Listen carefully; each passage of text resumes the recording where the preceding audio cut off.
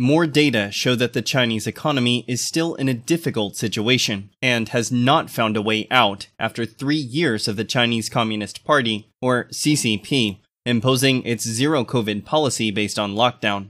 Specifically, according to Daji Yuan on March 17th, China's Ministry of Finance released data showing that from January to February this year, China's total public budget revenue fell by 1.2% year on year. Central government revenue fell 4.5%. Tax revenue from January to February fell 3.4% year on year. Some tax revenues have dropped double digits. For example, the car purchase tax decreased by 32.8% over the same period last year. Registration tax decreased by 31.3%, and real estate tax decreased by 22.9%.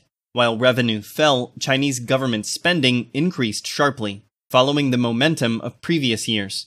In the first two months of this year, the total national public budget expenditure increased by 7% over the same period last year. Guo Baosheng, a commentator, told Radio Free Asia that the government's income has fallen, and the income of Chinese people has also decreased.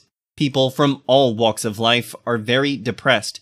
According to Guo, the cause of this situation is the unreasonable operating policies of China's regime, including its zero COVID policy. The downturn in every sector has also led to severe unemployment. Zhao, a commentator in Beijing, told Radio Free Asia that many people in Beijing could not find work, including university students, even graduate students and doctors.